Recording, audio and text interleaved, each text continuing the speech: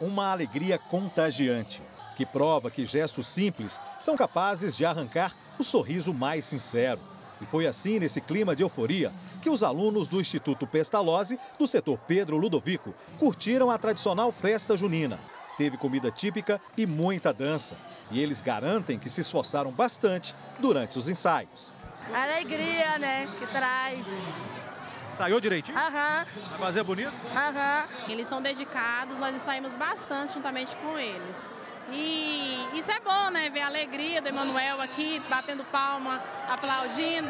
A festa é realizada há mais de 35 anos e reúne pessoas da comunidade aqui do setor Pedro Ludovico. A intenção sempre é a interação com as pessoas para que eles conheçam o trabalho da Pestalozzi. E neste ano, olha quem veio aqui, ó, o grandão Alisson Lima, que mora aqui no setor. Moro no setor Pedro Ludovico e recebi com muito carinho o convite, Douglas. Fiquei muito feliz em participar junto com essas crianças lindas, crianças tão abençoadas, né? Não são diferentes são mais do que especiais. Atividades como esta ajudaram e muito no desenvolvimento de Cleiton, filho desta dona de casa. Ele não conversava com ninguém, ele não aceitava criança pequena, hoje ele já aceita perto dele, né? Ele dá conta de olhar as horas agora, porque antes ele não sabia, tomar banho sozinho, entendeu?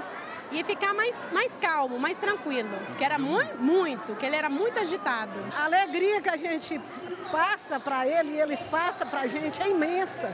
É maior que a alegria de ser mãe. Entendeu? Coisa verdadeira. É, coisa verdadeira. É coisa que vem de Deus, né? É um dom de Deus trabalhar aqui nesse lugar. Valdomira representou bem a falta de uma noiva na festa. Foi numa dessas quadrilhas que há nove anos ela conheceu o João Batista e eles acabaram se casando. Tá muito animado, eu tô gostando, tá reto. Ela tá falando que você é ciumenta, e aí? Não, não foi muito não. Quem escolheu a roupa? Foi ela. Foi ela. Você deixou? Só um pouco. Deixei. Tá feliz? Tô. O Instituto Pestalozzi é uma escola que atende cerca de 300 crianças com necessidades especiais. Ações como esta ajudam muito o trabalho desenvolvido. Tanto na parte social, porque é uma festa aberta para a comunidade, né?